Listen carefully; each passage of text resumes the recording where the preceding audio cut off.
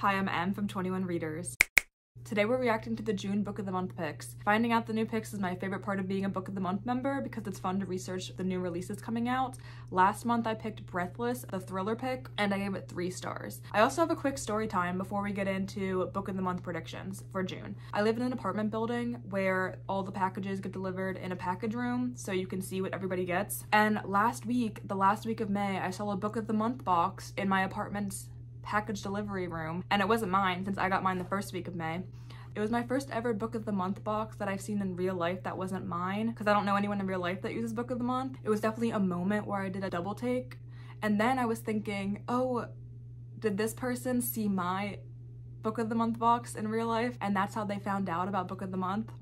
Probably not. They probably found out from a friend or social media. But then again, we do have a package room, so she could have seen my delivery and then been influenced to join Book of the Month. Anyway, that was my little anecdote of something interesting that happened to me this month regarding Book of the Month.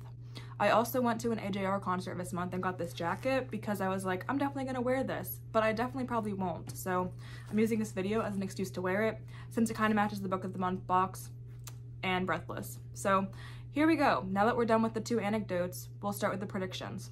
I have two predictions for this month. My first prediction for the month is You Made a Fool of Death with Your Beauty by Akwaeke Emezi. This is the same author as The Death of Vivek Oji, which was a previous book of the month pick. I gave that book five stars. It was absolutely beautiful. This one is also going to be a literary fiction, but there's going to be a romance at the center. My next prediction is definitely more of a long shot, but I'm just going to throw it out there anyway. I'm predicting So Happy For You by Celia Laskey. It's an LGBT contemporary fiction. It releases June 7th, and from what I've gathered looking at keywords in the plot summary, we're following a wedding gone wrong, basically. This one's a cynical look at the wedding industry. It sounds like a wild ride. That's more of a long shot, but then again, maybe it's not a long shot because Book of the Month has been picking a lot of authors lately who are new to being Book of the Month authors, so not as many repeat authors, such as how Emily Henry's book didn't get picked last month. All right, here we go, reacting to the June picks. All right, here we go. We have The Stardust Thief by Chelsea Abdullah, a fantasy. We have The Lies I Tell, the thriller pick by Julie Clark. We have The Lifestyle by Taylor Hahn, a contemporary fiction. We have Things We Do in the Dark, another thriller pick by Jennifer Hillier. We have Woman of Light by Callie Fajardo Anstine, a literary fiction. We have a historical fiction, The Wedding Dress Sewing Circle by Jennifer Ryan. All right, so this month there are six picks. Immediately, my first thought is that I'm most interested in the Julie Clark book, but before we make any decisions, let's look into these more in depth. All right, first we have The Stardust Thief, the fantasy pick by Chelsea Abdullah. It says, like a certain famous lamp, this novel will grant wishes for a perfect fantasy with dark magic and a dangerous quest. Let's find out more about this on Goodreads. That's another month in a row that we have a fantasy pick because we had Darling Girl last month. All right, this one was published on May 17th. Oh yeah, and also within the last week, Goodreads updated their interface, so it's a little bit different. Whereas the tags, the tags we see here, fantasy, adult, high fantasy, that's right at the bottom, whereas it used to be on the right side.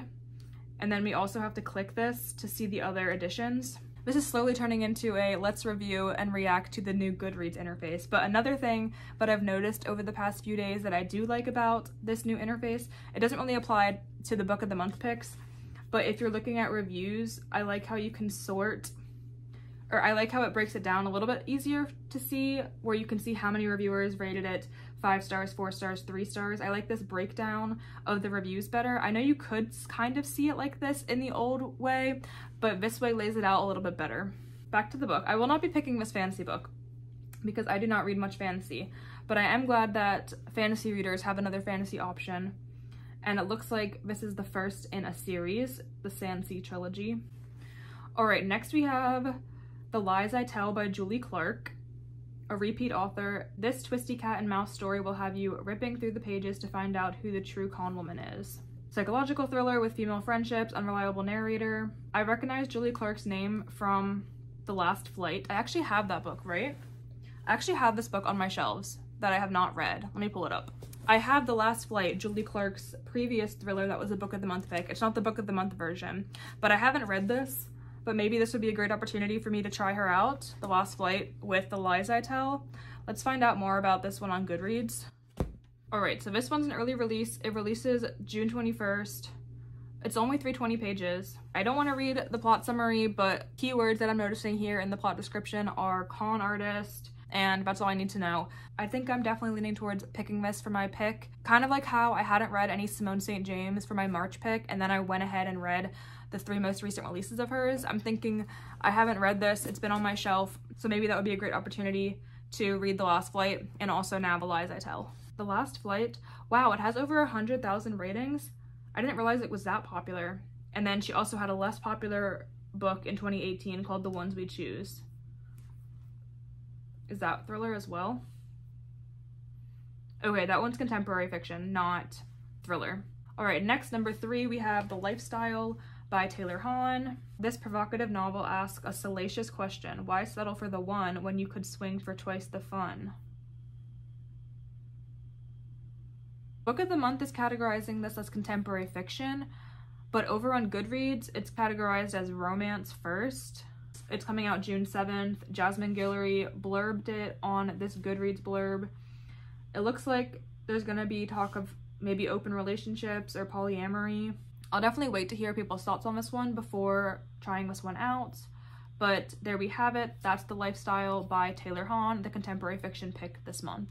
All right, and next we have Things We Do in the Dark by Jennifer Hillier. Oh, it's an early release. It says, caught in the paparazzi's glow after her husband's murder, Paris Peralta quickly learns all that glitters isn't gold. Peralta, and then the little emojis they have here are buzzy, murder, unsettling, and multiple viewpoints. I forgot that these emojis were a thing until last month when I was looking at the add-ons, and then I was like, oh, I haven't been looking at the emojis. So I'm gonna try to remember to look at these emojis when I'm reacting to these as well. All right, Things We Do in the Dark by Jennifer Hillier. Okay, this is quite an early release. It says July 19th, so we're getting it basically six weeks in advance. Okay, paparazzi, murder.